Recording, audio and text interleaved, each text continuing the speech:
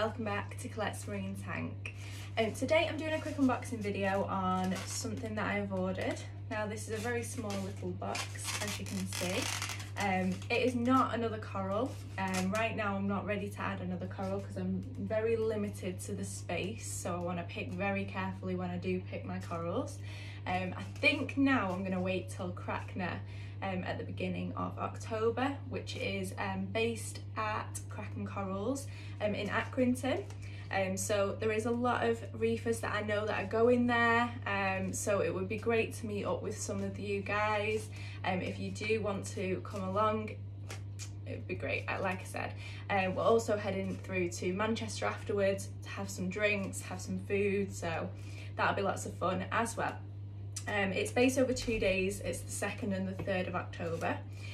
Um, anyway, that to one side, um, going back to the unboxing video, um, I have ordered two, um, no, I've ordered four, sorry, burger nudibranchs. Um, so the reason I've ordered these nudibranchs is because I have a huge infestation of Aiptasia inside this tank.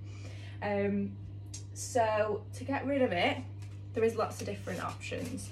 You can buy a six line wrasse, um, you can buy different wrasses, I know that, and one of them being a six line wrasse. The reason why I can't personally do that is because I have my feather duster worms and the Christmas tree worms.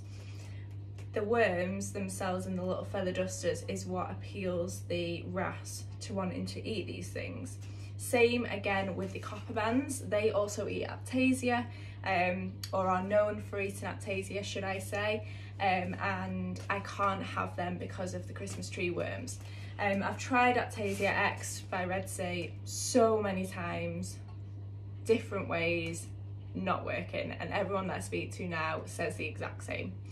So my next natural approach was to bring in some nudibranchs. I was a bit dubious of doing that because it's £54 for four and I also have a flasher wrasse inside this tank and the flasher wrasses tend to be known for eating nudibranchs. So it was a big decision to make because it could be £54 literally down the drain.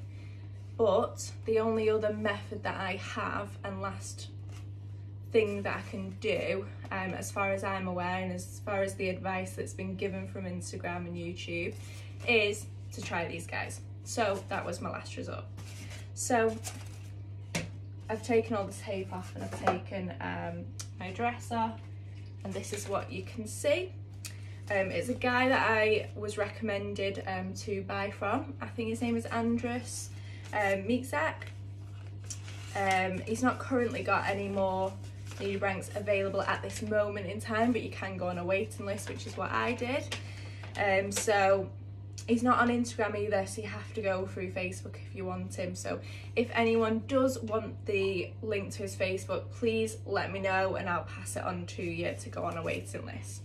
Um, the great thing about this is that he has given me some instructions, step-by-step -step guideline of how to acclimate them, um, also what they're there for, um, making sure that they're alive, pretty much everything is on this little piece of paper. There's also a contact number and email address. They've also included a pipette as well. So, here we go, pipette. Don't actually need that because I have set my little drip feeding acclimator up here. I'm going to empty this water that I've just done into here so that this is ready now for me to acclimate. Please excuse my jump guard. My jump guard is like that because I have a fan on my tank, um, which is why I've not upgraded to getting an acrylic top because I use the fan every single day. This house is quite hot. Okay, let's see if these guys are alive for one and what they're up to.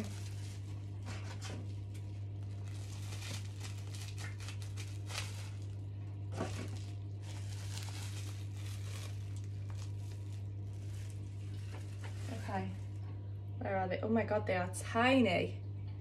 Did not expect them to be this small. Um, I'm not sure you're going to be able to see, yeah, kind of see them on camera. Well, they're really interesting to look at.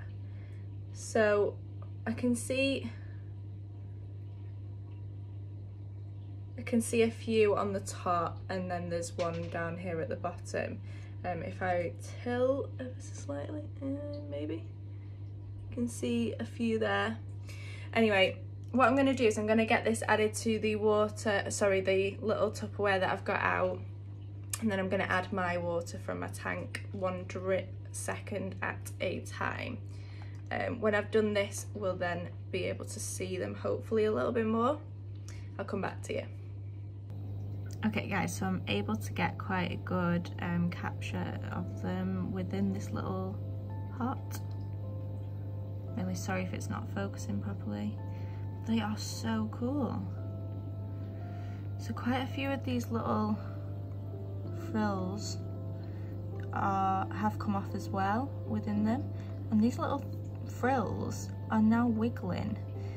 So I don't know if that's like babies. I do not have a clue, but it's really cool. Um, so yeah, so this is them. They have a lot of Aiptasia to feed on in this tank. I'll just show you one, which is the biggest one that I've ever seen. It's got like an anemone um, stem at the back that is so big. Um, obviously I've not got my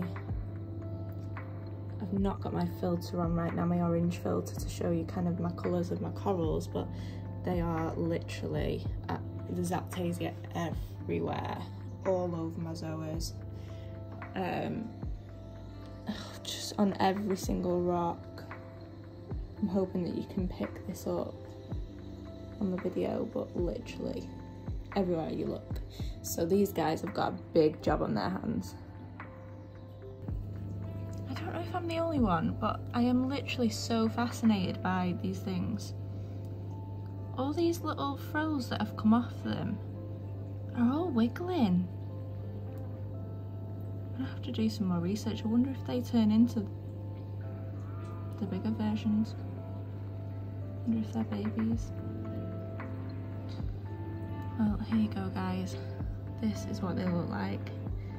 I'll get them inside the tank. Fingers crossed they make a start. Really like them though. I would rather them be really big and cool to look at in the tank, but apparently once you put them in, you never see them again. So yeah, wish me luck everyone. Take care. Thanks for watching. Let you all know, one of the instructions does say to sit the little tub of water inside the tank so that it can get up to temperature. That's one of the main things that the burgers need. Um, so I hope I'm saying it right. I'm saying burger, but burger, yeah, is how they're said with nudibranch. I'm not sure. Anyway, here they are getting up to temperature and then I'll show you a video after I've got them out and ready to pop them in the tank. Okay, so I've just turned all of my pumps off and now let's get added. Apparently the Aiptasia can eat the, the nudibranchs if they are added to their mouths with the Aiptasia, so you've got to be really careful when adding them this tub doesn't really want to stay where it is.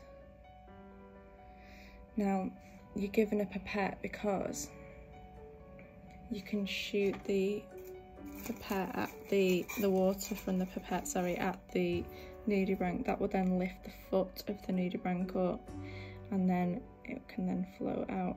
See, these are the little frills that came off that were moving themselves. I don't know if they'll stay alive or not, but I'm to do that. I'm to leave that there. I'm to let the nudibranchs get out when they want.